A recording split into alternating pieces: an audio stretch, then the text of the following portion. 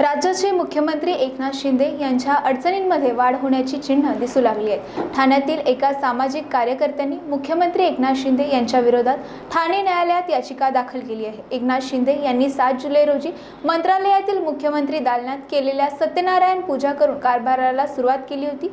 मात्र ही सत्यनारायण पूजा करणे एकनाथ शिंदे यांना महागात पडणार आहे.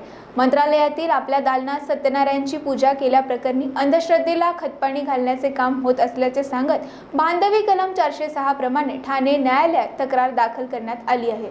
राज्याचे मुख्यमंत्री एकनाथ शिंदे यांनी शिवसेनेतून बंड पुकारल्यानंतर एकनाथ शिंदे यांनी भाजपसोबत युती करत पुन्हा सत्ता स्थापन केली आहे. त्यानंतर एकनाथ शिंदे यांनी तीस जून रोजी राजभवनात मुख्यमंत्री पदाची शपथविधी पार पडली. या शपथविधीनंतर आपण स्थापित केलेली सत्ता सुरळीत सुरू राहावी. यासाठी सात जुलै रोजी मंत्रालयाच्या दालनात सत्यनारायण पूजा करून कारभाराला सुरुवात केली होती. या सत्यनारायण पूजेचा विरोध दर्शवत ठाण्यातील सामाजिक कार्यकर्ते धनाजी सुरसे यांनी ठाणे न्यायालयात बांधवी कलम चारशे सहा प्रमाणे ठाणे न्यायालयात तक्रार दाखल केली आहे. येत्या एक ऑगस्ट रोजी या याचिकेवर पहिली सुनावणी होणार आहे. या प्रकरणी ठाणे न्यायालयातून न्याय न मिळाल्यास मुंबई सर्वोच्च न्यायालयात जाण्याचा इशारा धनाजी सुरोसे यांनी दिलाय.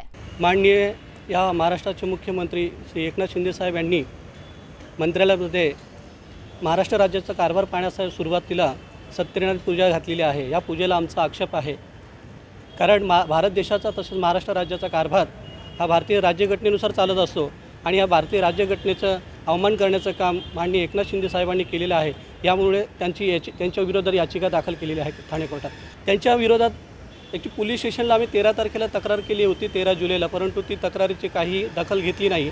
त्या उद्देशाने आम्ही बावीस तारखेला बावीस जुलै रोजी कोर्टामध्ये दाखल केलं. परंतु त्याच्यावरही न्यायदंडाधिकारी जज पाल मॅडम यांनी आक्षेप घेतलेला आणि त्याला तेहतीस पानाची जजमेंट जोडून ती साधारणतः आम्हाला सत्तावीस तारखेला तारीख पडली आणि त्याच्या लगेच एक ऑगस्टला त्याच्यावर आदेश करणार असा आम्हाला त्याच्या माध्यमातून मेसेज आलेला आहे. जर आम्हाला ठाणे कोर्टामध्ये जर आमचं केस रिजेक्ट केली या त्याच्यावर आम्हाला योग्य न्याय मिळाला नाही तर आम्ही हायकोर्टामध्ये जाण्याची आमची पूर्ण तयारी आहे. बाय सब जानना चाहते हैं। मेरा फेवरेट कलर मेरा फेवरेट डेस्टिनेशन मेरी फेवरेट डिश पर कोई ये नहीं पूछता कि फेवरेट डिश मैं बनाती कैसे हूँ।